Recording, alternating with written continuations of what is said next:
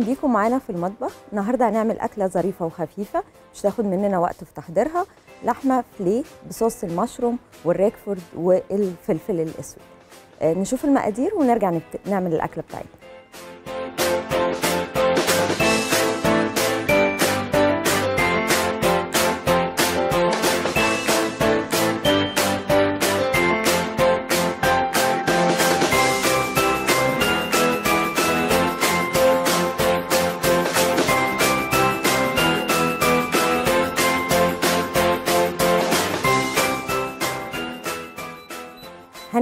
معانا أول حاجة هنجيب اللحمة الفيليه بتاعتنا. أنا بفضل إنها تكون عرق فليتو واللي ده دايما الناس بتبقى محتارة تعمل فيه إيه. الموضوع سهل جدا وبسيط مش هياخد مننا ثواني زي ما اتفقنا.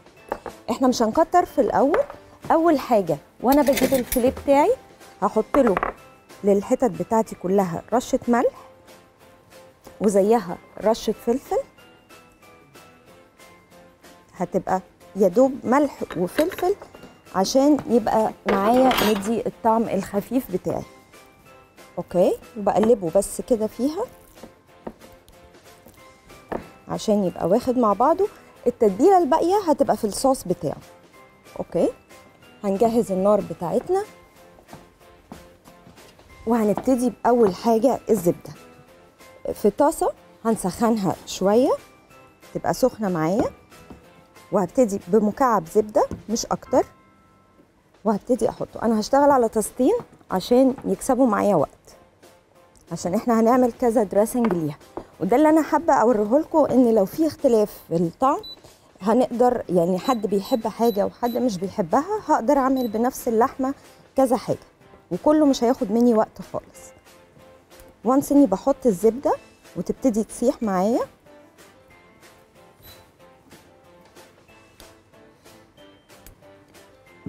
هنجيب الفلي.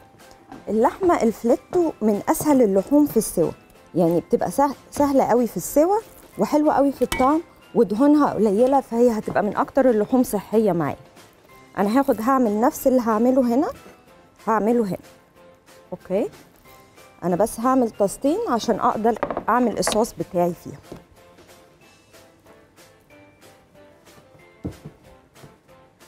نزود النار شوية.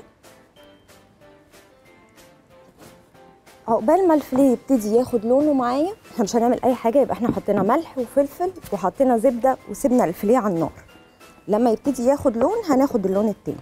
إحنا عندنا هنحط في جنب الطبق عشان تبقى وجبة كاملة متكاملة مع بعضها. جبنا بطاطس وسلقناها مش مطلوب مننا غير إن إحنا نبقى سلقينها ومهروسة ما فيهاش أي حاجة تانية. أوكي؟ البطاطس المهروسة أهي بكل بساطة. في ناس بتسأل إحنا هنقشرها ولا هنسلق؟ على طول مش هتفرق معايا خالص. المهم النتيجة إن أنا هبقى عايزة البطاطس تبقى مسلوقة وأهرسها كويس. أحطها على النار كده. أهم حاجة نخليها مش قد ما نقدر. برضو دي من الوجبات الظريفة قوي. وبتنفع والكالوريز بتاعتها خفيفة. إحنا بنعمل أكلة النهارده صحية شكلها حلو وفي نفس الوقت هيبقى وقتها في التحضير قليل جدا.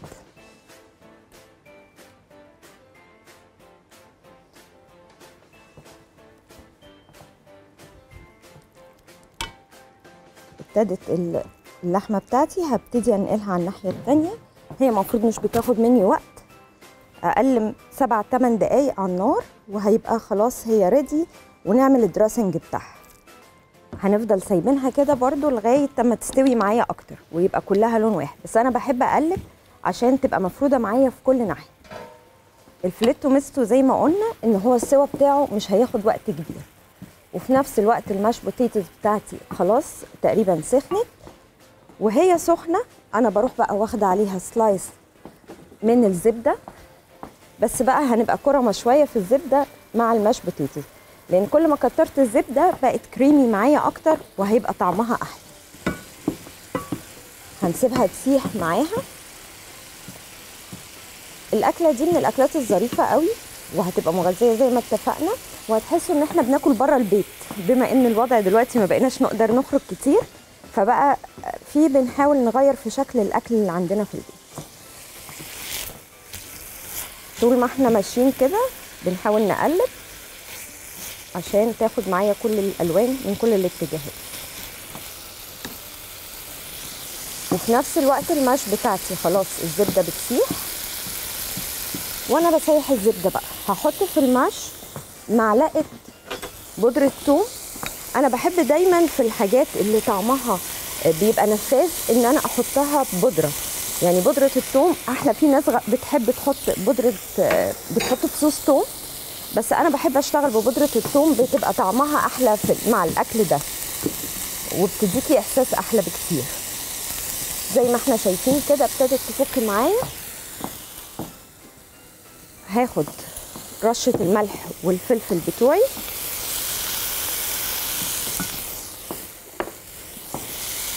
اللحمة وفي نفس الوقت بتاعي شغالة. وهنحط حوالي فنجان كبير ويبنج كريم عليها أو كريمه طبخ هنلاقي البطاطس بتاعتي ابتدت تبقى بقى كريمي خالص ومدية الطعم كله. خلي بالنا البطاطس مش هتحتاج مني أي حاجة تانية. هي كده. أنا بحب أقلبها حلو عشان تبقى شاربة. بصوا بقى شكلها إزاي. اللي بيحب الزعتر هيقدر يحط زعتر هيديها طعم حلو قوي. ليها. اللي مش بيحب وعايزها النورمال بتاعنا هيبقى هي الوضع ده. بص اللحمة ابتدت خلاص اهي بتحمر مني. خلوا بالكم الحمار اللي في الطاسة الطاسة بتاعتي دي بقى هحافظ عليها عشان ده سر ال dressing بتاعي كله. يعني الطاسة هي اللي هشتغل فيها تاني من غير ما اغسلها ولا أجي ناحيتها تاني. okay؟ بصوا ال mashed potatoes بقت خلاص. على فكرة ال mash بتاعتي كده ready تقريبا. وقت التقديم هروح حاطة الجبنة عليها. أوكي؟ ممكن نطلع الماش تكون اللحمة خلاص.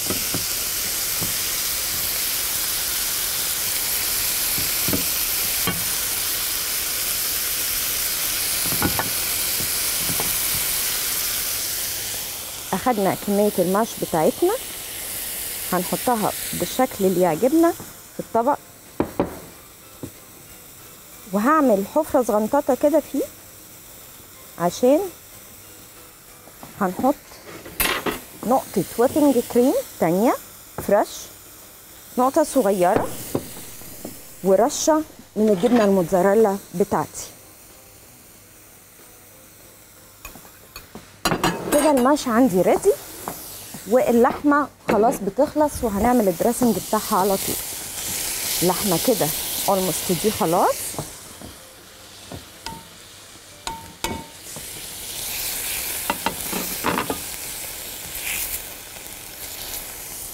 هناخد القطع بتاعت اللحمة بتاعتي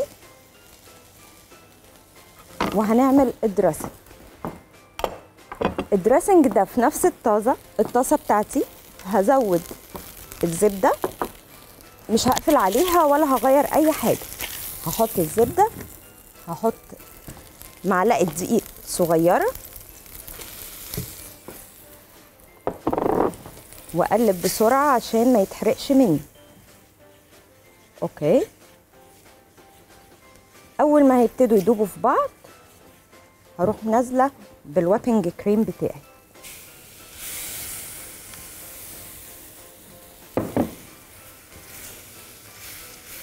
وهيبتدي يعمل معايا الصوص. هنحط له بودرة ثوم فلفل ملح وده للتلاتة dressing بتوعنا. بودرة بصل. okay. وهقلب تاني.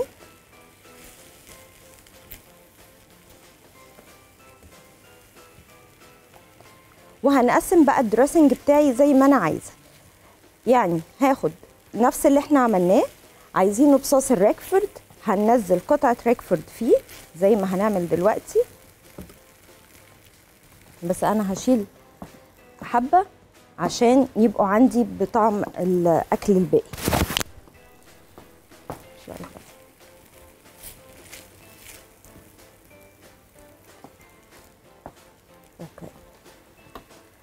هنحط الفلفل الأسود.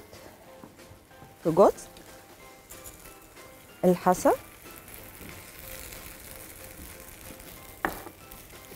وده كده بقى خلاص عندي dressing بالفلفل الأسود فوق الجبنة بتاعتي.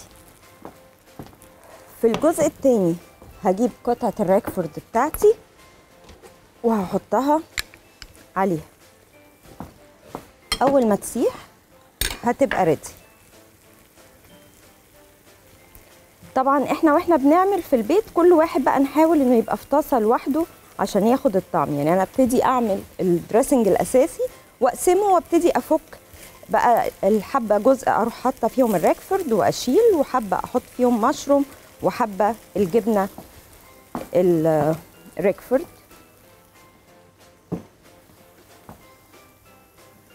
ده كده بقى بصوص الراكفورد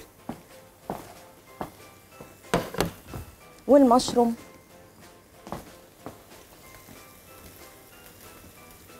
هيتقلب معاهم. وهنزود عليه الوابنج كريم شوية عشان هو نشف الوابنج كريم والملح والفلفل زي ما أنا بحب ألاقيهم. يعني ده اختياري ليا. دول كمان خلاص.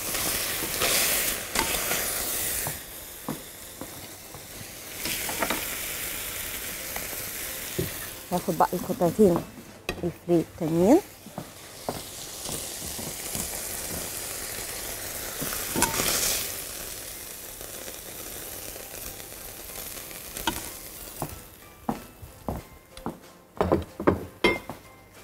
نجيب tissue كده نظبط الحاجات بتاعتنا.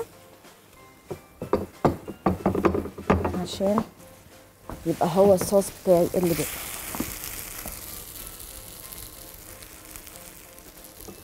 ده بالراك بالمشروم.